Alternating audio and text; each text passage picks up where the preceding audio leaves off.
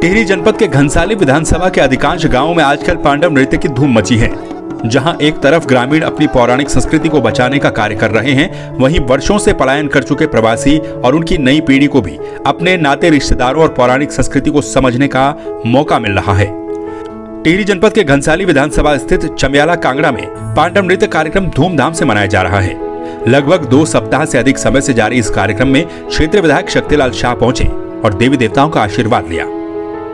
विधायक शक्तिलाल ने ग्रामीणों की तमाम मांगों पर अपनी स्वीकृति प्रदान की और ग्रामीणों को आश्वासन दिया कि अतिशीघ्र सभी मांगों को प्रमुखता के साथ रखते हुए पूरा किया जाएगा।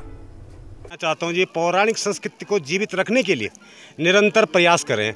अभी देखो, यहाँ आज बारहवा या तेरहवा दिन है। ऐसा ही है ना? और आज इन्होंने पेड़ डाव न्यूतली कल पेड़ लाएँगे। कल पूरी रात पूरी रात पांडव लीला चलेगी। और परसों क्या होगा?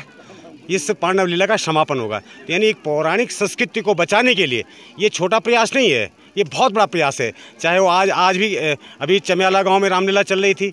अब रामलीला जबकि लोग अक्सर टीवी में देखने को, पसंद करते हैं, लेकिन मैं चमियाला के लोगों को भी धन्यवाद करना करना चाहता हूँ। मैं मैं कई गाँव में गया हूँ। अभी पिछली बार मैं दो तीन गाँव और गया था। मैं एक तो चंगोरा में गया था, वहाँ पे भी पांडव लीला अणुआ में गया था। मैं तो वहाँ खूब नाचा भी। पांडव, मुझे भी बहुत अच्छा लगा। तो मैं सब लोगों को बहुत बहुत बधाई देता हूँ और ये पौराणिक संस्कृति को जीवित रखने के लिए सब लोगों की नैतिक ज़िम्मेदारी है। हमें काम भी करनी चाहिए। और मैं पुनः एक बार विशेषकर कांगड़ा की जनता को हृदय से बहुत बहुत धन्यवाद और बधाई देना चाहता हूँ। मैं ये हमारा हर तीसरे वर्ष किया जाता है। ये हमारे यहाँ पांडव नृत्य में विशेष खास करके ये है कि हमारे यहाँ डाली लिया जाती है। जो दूसरी जगह मैंने कई जगह देखा है, पांडव नृत्य उसमें डाली नहीं होते तो डाली का ये महत्व तो है इसमें कि जो श्री नागराज भगवान है, जो कृष्ण कन्हैया के उस रूप में रहते तो उस समय जो डाली गए पांडवों में इसका भी व्याख्यान किया गया है। तो पांडव नृत्य का कार्यक्रम हमारे यहाँ 16 तारीख से शुरू किया गया है, हर तीसरे साल किया जाता है। और इस कार्यक्रम में लगातार हमें सहयोग मिल रहा है हमारे ग्रामवासियों का।